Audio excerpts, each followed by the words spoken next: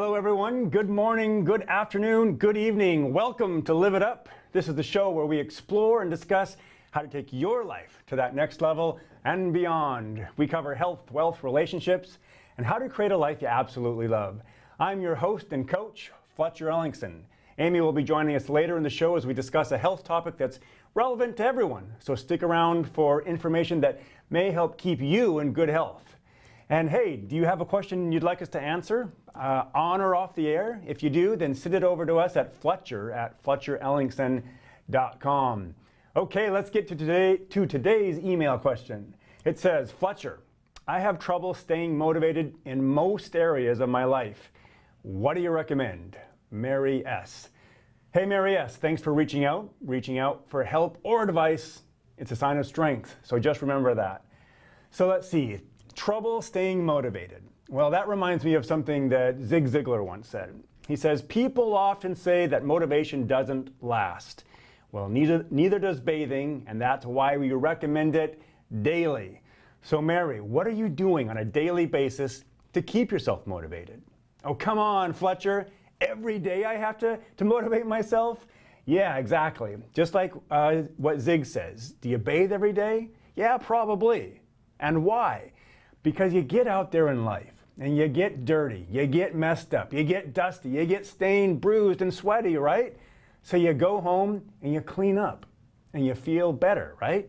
It's the same with motivation. It can be short lived, so you have to look for that motivation daily. But there's a secret, and I'm going to share it with you in just a moment. It's going to explain how to easily create motivation on a daily basis and create it on demand. Pretty cool concept, huh? So let's discuss motivation and inspiration. They're quite different and both are needed to create a fulfilling life. So what inspires people to remarkable achievements? What inspires them to author a novel or play or movie or to create art? What inspires people to create machines that can travel into space and what is it that inspires some people to, create technology that the rest of society said would be impossible? Or what about seeking the presidency or starting a business or to leave a job and travel the world? What's the common answer? It's a compelling vision. These people had a vision that was so compelling that they were motivated to create the vision that they saw in their mind. It was so inspiring that they were motivated into, into, action to set up meetings with people they may not have even known. They networked. They shared their vision. They spent their own money or asked for money, took out loans. They, they found donations. They found funding. These people worked on their vision, on that compelling vision, after they got home from work, on the weekends. They wrote about it. They dreamed about it. They had a vision of something so compelling that if they could realize it, it would result in something significant. And for some, that significant result would be a better product.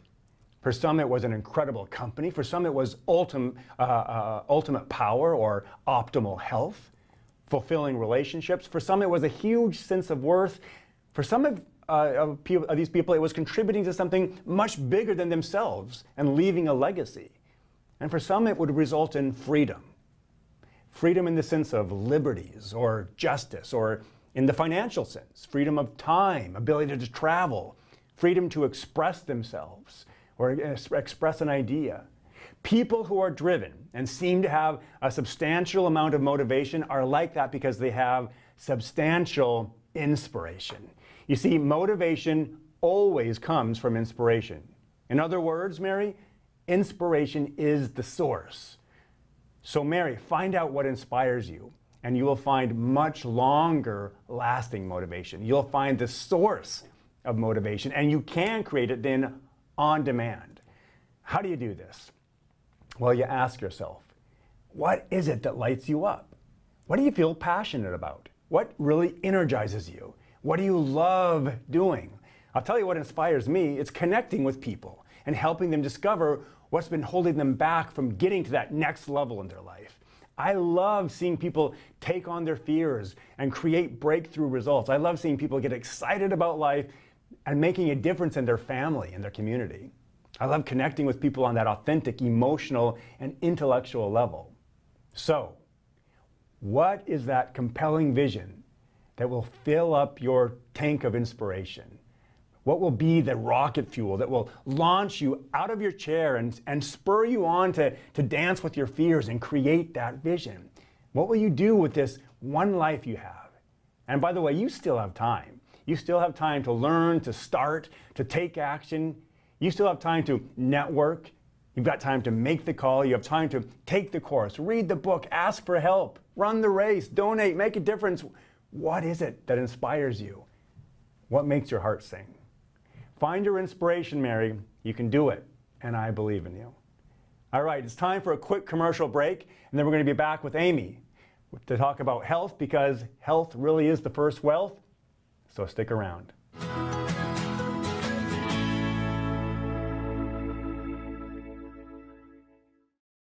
Hey, welcome back to Live It Up. We are here with Amy. Hello, Amy. Hello. Today we are talking about something that affects everybody, or could. We're talking about influenza. Yep.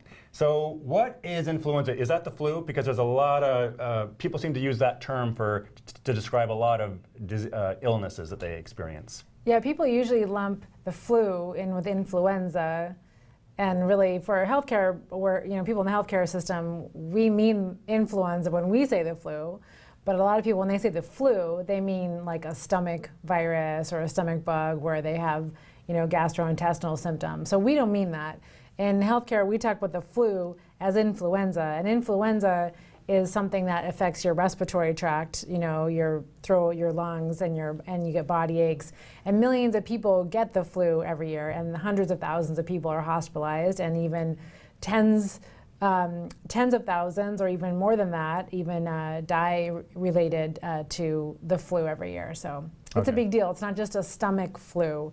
Doctors don't use that term, stomach flu. All right. Just the general public does. Yeah. Okay. Mm-hmm. All right. So, what are the, some of the symptoms of, of influenza then? Yeah. So, influenza usually you feel really sick. People have a high fever, usually you know 101, 102 or higher. They have usually a headache. They have really bad body aches. Have a cough and they really feel like they feel so sick. And then when you go to examine them, there's really nothing that you can find that's wrong on the exam. Most of the time, if they don't have anything else going on besides the flu, their lungs will sound clear, their throat will look fine, they just feel really bad. So those are the symptoms. And usually it lasts a solid seven days if you haven't gotten the vaccine. And so you're out of work usually for a week. Okay. And uh, what do we do then to prevent that? Well, um, there's lots of things you can do to prevent it. You know, flu season starts in the fall and goes into the spring, and so when you one thing you can do, especially really all year long, but especially during that that time of year, when you're in a public place where you're at a school, an airport, airplane, or at the grocery store, what I usually am really conscious of myself, and I try to tell my family too, is to try not to touch your eyes, nose, or mouth until you've washed your hands after you've been in one of those places. So that's really the way that you're going to get sick. Either if someone coughs right on you, which doesn't hopefully happen very often, not be rude, but otherwise it would be that you go to touch something and then touch your face, particularly your eyes, nose, or mouth. So really being being careful of that. The other thing is if you know someone's been sick, especially if they've had um, an illness with a fever, then you really don't want to hang out with them or tell them to stay home, at least until they haven't had a fever for 24 hours. Um, so that's a that's something that I think a lot of people maybe downplay. They're like, ah, it's okay, I won't get it, or you send your kid uh, to uh, back to school after they feel better. But you're saying yeah. really stick to that 24-hour window. Well, 20. So really, even for and for school, kids aren't supposed to go back to school unless they have not had a fever for at least 24 hours. And usually, you're most contagious in the very beginning of an illness, rather than after you've had a cough for about a week. You're probably not contagious anymore. But in those early days, you, you most likely are. So in the first couple days, that's when you're contagious. When you've Mostly. had it for a couple days, not so much? Well, it depends on what illness it is. But that's always, I mean, that's a good rule of thumb is in the very beginning when you're feeling the most sick is when you're the most contagious. Okay, gotcha. Um, tell us about the flu shot because these are advertised everywhere. Yeah. So the flu shot is something that we do have to get every year. Um, and we'll talk about that in a minute. And the flu vaccination can reduce illness by about 40 to 60 percent in most people if the vaccine is well matched to the virus of the year. And um, not just do they reduce illness, but they also reduce death, hospital admissions, ICU admissions, especially people who have immune uh, problems, they can get very sick. People over age 65, those younger than five years old, people, uh, pregnant women can get very sick from influenza, and the vaccine reduces their risk of getting sick by about 50%. Virus of the Year sounds like an award. How do they match it? Well, so they match it. Uh, well, well, first of all, the reason that you have to get one every year. Well, one is the shot hasn't really been shown. Vaccines get researched, and some vaccines cause lifelong immunity or very, you know, decades and decades long immunity. Others don't cause that long of lasting immunity for a variety of reasons. But the other thing about influenza is it changes every year, it mutates, and so it's oh, viruses are very um, sophisticated and they're always changing. And, and so what the researchers have to do is they sample um, viruses from across the world, and then actually each country decides on their exact mix that they're going to choose. But in our country, you have to decide, so they decide in February in the United States what the vaccine is going to be for the following fall, because then the vaccine is made in chicken eggs at this point. I assume in the future it will not be the case, but so it takes a long time to make enough vaccine to get ready to vaccinate potentially the whole population. So it's a pretty interesting, um, a pretty interesting process. And then when you when you do get the vaccination, then it, your body mounts this immune response with antibodies, and then it takes about two weeks for your body to have that sufficient immune antibody response to become um, where you could fight off the virus if your body saw it. All right, so let's talk about antibodies. What are they, and and can you get the flu from getting the flu shot then? Yeah, because you heard that one. So antibodies, you know, I've, I've, mentioned before on this show that your body is just this incredibly sophisticated machine that has so many things running in the background, and it's why I always encourage people to take care of themselves, and, and because your body is doing so much. So as we go through our lives, our bodies are exposed to billions and billions of germs in the environment all the time, dust, things in the air, things we you know touch with our, our face and our mouth. And so when your body meets a new germ, it immediately creates a blueprint of that protein, of that germ and it creates memory cells. And so it will mount a response in the beginning, but then there will actually be memory cells made for that specific protein. And so then in the future, if your body sees that same germ, your body's like, oh, we got this. And, there, and your body's able to then mount a very large response in a very short period of time. Whereas before, it would have had taken a while, like the two week time.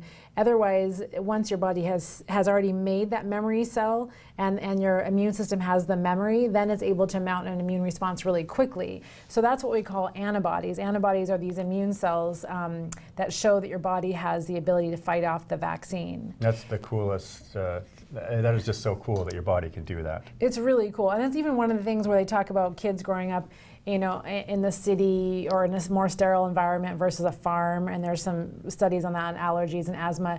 And part of it is because if you grow up on a farm, you're exposed to so many germs. And those, those people actually have better functioning immune systems than the ones that aren't exposed to as much. Gotcha. And the second part of the question is can you get the flu from having the, the flu vaccine? You cannot, 100% you cannot get the flu because the virus is dead, it's, it's killed, it's not alive, it cannot give you the flu. However, you, your body, because it does mount an immune response, you could feel slightly sick for, you know, maybe three days, or you have some body aches, you may feel tired, you could feel achy, and that's just your body's immune response that's generating um, those uh, memory cells. But you can't get the flu, but you could feel a little sick after getting the flu shot.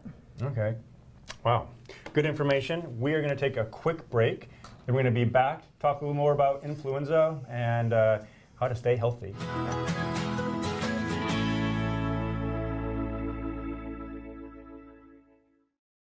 Hey, welcome back to Live It Up. We're talking with uh, Amy here about influenza, and I've got a few more questions for her before we go. So, my other question is Can I get seasonal flu even though I got the flu vaccine? The answer is yes. Unfortunately, yes, right. So, um, and one thing I would say though, you, you don't know for sure that it's the flu unless you get tested and someone mm. tells you it's the flu. Because there, are there also are things that feel just like the flu. There's actually a code in medicine after you see someone that's influenza like illness because it acts just like the flu, but it's actually not the flu. Aha. So number one, you would have to know you have the flu, so you'd have to actually get tested to confirm. Okay. So a couple of things that could have happened. Number one is you maybe were exposed. You know, you know, uh, we talked about that takes two weeks to get immune after a shot. So you could have been exposed right before you got the flu shot, or just right afterwards. So that that could be a possibility. The second thing is that you may be exposed to a flu virus, a strain that was not included in the vaccine that year, or they may have gotten the vaccine um, mixture not as accurate, which which can happen. Um, Because because basically what you're saying is because it's a bit of a gamble, right? Yeah, There, it there's a lot of guesswork that goes into it. Yeah, yeah. There's definitely some, there's also people that don't mount as good of an immune response. So, younger, healthy people will mount a better immune response in, um, after being exposed to a vaccine than an older person or person that has immune problems. So, say you get the vaccine and you don't mount in a good enough immune, immune response, then you may still get the flu. And there are people, you know, hopefully, uh, what happens is that if you were exposed to the flu, you either don't get sick at all or you have a much milder case. But I know last year we definitely had people, and it was a certain strain. Some of the strains were covered well last year, some weren't. And we definitely had people in the hospital with influenza, and they were all, you know, over age 70 with lung problems, you know, other things going on. Okay. And I mean, you can die from it, right? Oh, you can definitely die from it. You can get very sick from influenza. There was one year, several years ago now, where there were several children under age five that died, and also several pregnant women that died from influenza. Okay. Yeah. Now, but, but let's say uh, I have the symptoms. I'm feeling quite ill, and it's a Mm. respiratory thing. I would lock you in the room. You would lock me. You would quarantine me. Yes. But would I need to go to to the doctor? Would I need to go to the clinic? Yeah, so if so, if you're young and healthy, which I would consider you on the young, you know, side, you know, where you're uh, not a young child and you're not over age 65 and you don't have any immune problems and you're feeling okay, you know, you're breathing okay and all that jazz, then you really should just stay home. You don't want to go into any public places. You don't want to go to the doctor's office unless you have to for some reason because you're not feeling well. So you want to stay home. You want to wash your hands. You want everyone who comes into contact with you to make sure that they're washing their hands. You could even put a mask on or have them, you know, wear a mask. So you really want to limit your exposure to the public, especially uh, while you're still having body aches and fever. That's the time where you're going to be very contagious. Those are the worst, the body aches. Oh, the body aches are terrible. Yeah. Is that like a for sure sign you've got influenza? It's usually, I mean, when people come in with a little bit of a cough and they don't have body aches or fever, it's not usually influenza. People usually have really bad body aches with influenza. If you're less than, if your child is less than five, what's really hard is they can't tell us that they have body aches. They can't really tell you what's going on. So they come in looking really sick with a temperature of 103 and we're not sure what's going on. And so we can test them for flu. Unfortunately, it's a nose swab is the way that we test people usually, so it's not the most comfortable thing. Or if you have lung problems, if you're over age 65, if you're not able to stay hydrated, other things that are you're concerned about, then you might want to, you know, be seen. There- Now, at that point, though, if you've got influenza, there's no sense in getting the shot then at that point. no, no. And then, so let's say. Not you- if it's confirmed influenza. Yeah, so there's no sense in getting it. And what will the doctor tell you then? Just go home and go to bed?